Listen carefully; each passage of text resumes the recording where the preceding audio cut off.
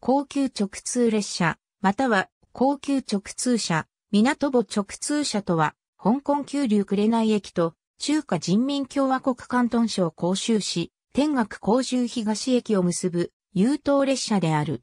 香港内では、香港 MTR 東鉄線を経由し、中国本土に入ってからは、更新線を経由して運行される。なお、かつては1日1往復のみ、甲州東駅から甲州駅を経由して広重線に直通し、はじめ京駅まで運行されていた。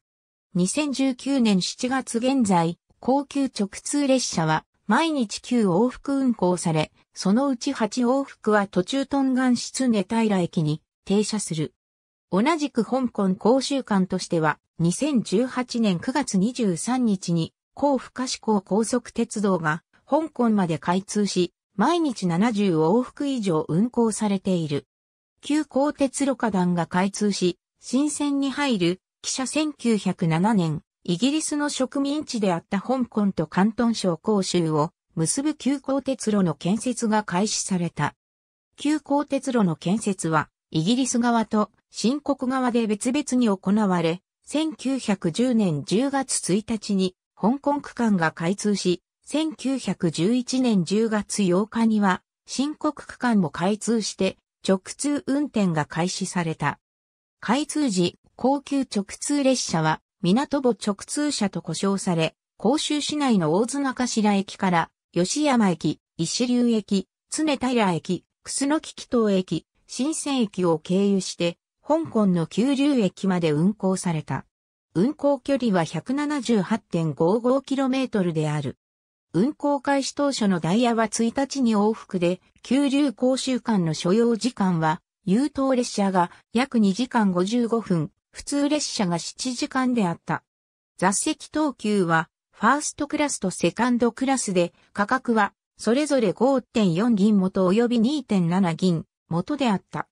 1936年から1937年の間には、香港の旧高鉄路局は豪華直通列車の運行を開始した。豪華直通列車には食堂車や展望車が設置された2両の機動車が用いられ、それぞれ甲州宿女号、大保宿女号と命名され、1936年10月14日、大保宿女号は、九流甲州間を無停車で2時間15分で走破した。日中戦争中の1938年10月、日本軍による関東攻略戦の結果、旧高鉄路は破壊され、高級直通列車の運行は縮小された。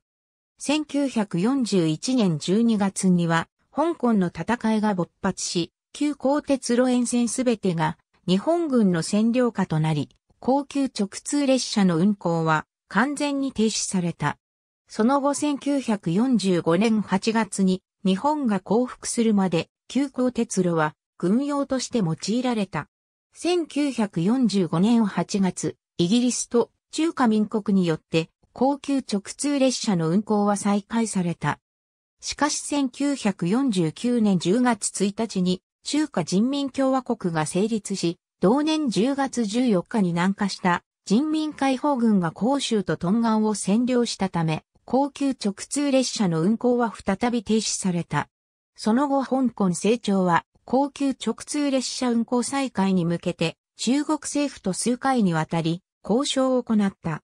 中国政府は高級直通列車運行再開について前向きで、国務院総理である周恩来も1950年代初めに高級直通列車運行再開を提案したが、様々な要因によって中英間で合意に至らなかった。文化大革命の後、中国が1970年代後半から改革開放政策を開始した。1979年1月初め、中国政府は香港政庁の関係者と接触し、高級直通列車運行再開について協議した。香港側の旧高鉄路局と中国側の公衆鉄路局の間でもこの問題について取り上げられた。公衆鉄路局はこの問題を中華人民共和国鉄道部に上申し、さらに1月25日には鉄道部から国務院に対して上申が行われた。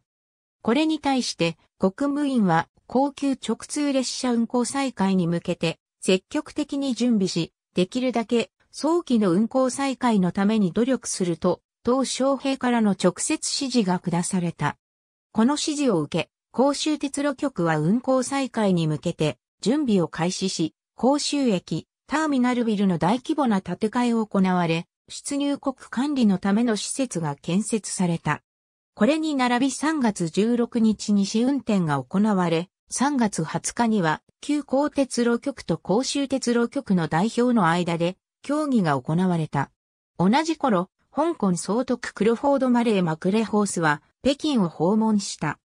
マクレホースは香港に戻る際、高級直通列車の第一列車に乗ることを希望したため、高級直通列車の運行再開日は4月4日に決定した。そして4月4日、当日、甲州駅で記念式典が挙行された。式典には、関東省庁と甲州市長、香港総督、マクレホースとその夫人のほか、香港の財界関係者が出席した。午前8時20分、鉄道部副部長の小振林が第一列車である91次列車のテープカットを行い、午前8時半、30年の中断期間を経て、高級直通列車が甲州を出発した。91次列車は、東風3型0149-5ディーゼル機関車が、牽引した中国国鉄24系客車で運行され、列車が香港に入った後、ラコ駅から水先案内人として、香港側の機関士が乗務した。91次列車は、香港内を約55分間走行し、甲州出発から約3時間後に香港急流にある急流駅に到着した。大学駅を通過する東風11型牽引の中国国鉄 25Z 系客車。砂田駅を通過する T808 次列車、新時速直通車、KTT 直通車甲州東駅隔陸内に停車中の高級直通列車専用 25Z 型客車紅駅停車中の高級直通列車専用 25T 型客車1979年。当時、高級直通列車は毎日一往復運行された。甲州発急流域91次列車は、甲州を午前8時30分に出発し、急流発甲州域92次列車は、急流を午後1時に出発した。所要時間は共に2時間54分であった。列車の編成は、東風3型ディーゼル機関車牽引の13両編成で10両が空調付き南座車、1両が電源車、1両が食堂車、1両が荷物車であった。1979年当時の片道切符の値段は53.5香港ドル、または16人民元であった。旅客は、甲州駅で出国審査を行った後、そのまま国境を通過して、九龍駅まで行き、到着後入国審査を受けた。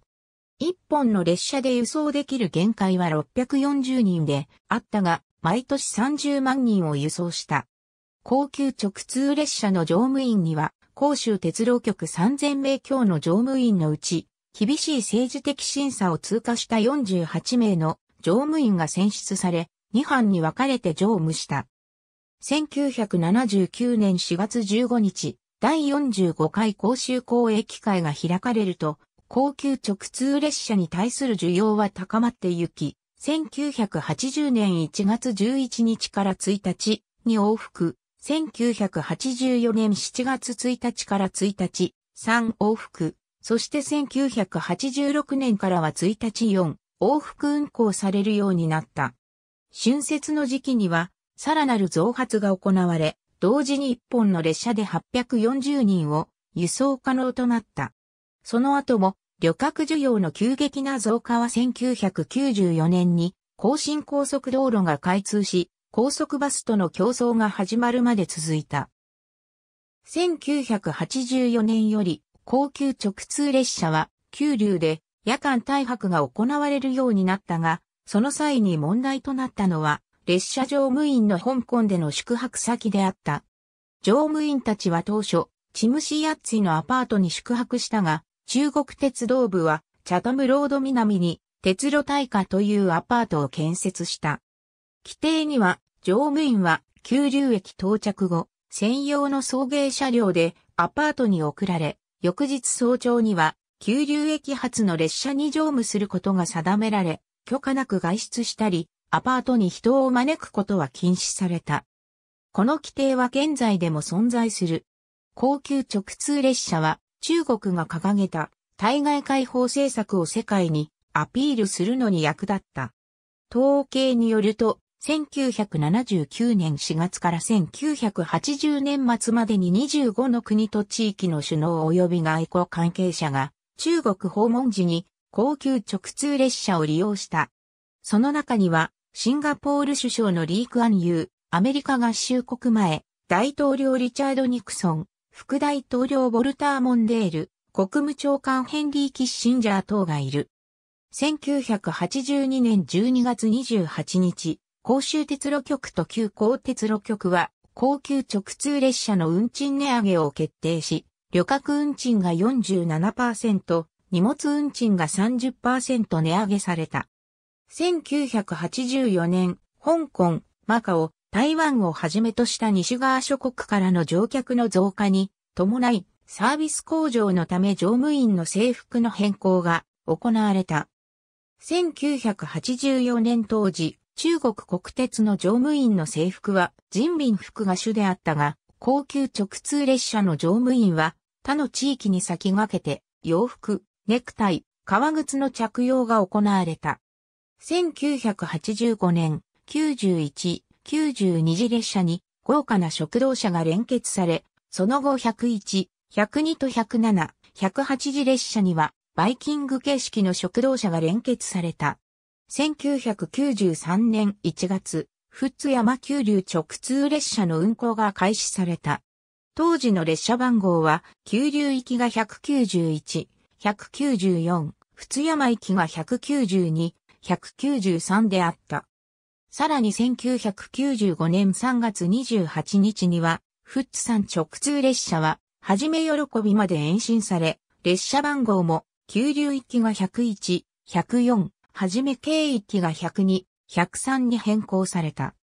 1994年、更新線準高速化改良工事が終了し、1995年3月27日に時速 160km 対応の 25Z 系客車が導入された。準高速化によって、急流講習間所要時間は1時間45分に短縮されたが、定員が624人に減少したため、高級直通列車の切符の入手が困難となった。また、この改正の際に1日4往復の速達タイプ列車の列車番号には、準高速列車を示す Z の字が付けられた。同年10月8日には、トンガン市内の常平駅停車が開始された。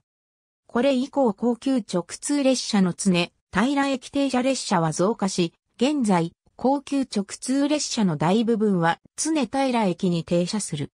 1996年、高級直通列車の甲州での終点が天学の甲州東駅に変更された。1997年の香港編漢字、高級直通列車は毎日6往復運行され、年間に輸送した旅客人数は7148万人であった。1998年6月1日、更新線の電化が完成し、新たに最高時速 200km の新時速車体傾斜式車両が導入された。新時速列車の列車番号には高速列車を示す G の字が付けられ、急流甲州東間の所要時間は最短で90分となった。同年8月28日、香港の旧高鉄路講師は KTT 列車を導入した。KTT は両端の電気機関車はスイス製、機関車の間に挟まれた2階建て客車は、日本の近畿車両製で、食堂車と荷物車の連結はないが、特等車が連結され、アテンダントによるスナックの無料提供がある。KTT は運行開始当初は1日1往復であったが、2019年現在では1日3往復運行されている。1999年6月28日、高級直通列車は3往復増発された。2001年6月13日、高新鉄路株式会社と香港旧高鉄路工士は、旧流トンガン間で金曜日、土曜日、日曜日に限って運行される、奥尾直通車の共同運行を開始した。奥尾直通車の列車番号は T823、818時とされ、サービスについては、他の高級直通列車と同等とされた。2002年12月25日から奥尾直通車は週末だけでなく火曜日から日曜日まで運行されることになり、毎週6日間運行された。2003年6月29日に中国本土、香港経済連携緊密化取り決めが実施され、高級直通列車は2003年6月28日から10月20日にかけて3往復増発された。この際、旧流トンガン間で運行されていた列車も2003年6月30日に甲州東まで延長され、毎日運行となった。さらに2004年4月18日、高級直通列車は新たに2往復増発された。この時の増発によって、高級直通列車の1日の運行本数が12往復となり、ほぼ1時間に1本のペースで運行されるようになった。そしてこの年、運行再開25年にして、高級直通列車の旅客輸送人数は4500万人に達した。2008年12月21日、香港 MTR は高級直通列車のダイヤ改正を行った。この際、更新線内での最高速度を時速 160km から時速 140km に引き下げたため、列車の所要時間が増加した。2010年10月22日には、台湾の著名な作家である、李光が広州から九龍まで T815 次列車に乗車した。李光はサービスの高さに感心し、我が風に乗って帰り去らんと欲す。ただ心に叶えば鋼鉄ありと、祖色の水帳歌頭をもじった漢詩を読んだ。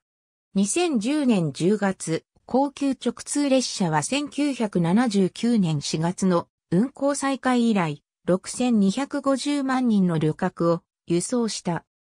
甲州鉄路集団講師の統計によると、運行再開初期の旅客のほとんどは、外国人及び海外華僑や香港、マカオ、台湾からの旅客であったが、2010年には旅客の半分以上が中国本土からの観光客やビジネスマンとなっており、30年間で高級直通列車の客層は大きく変化していることがわかる。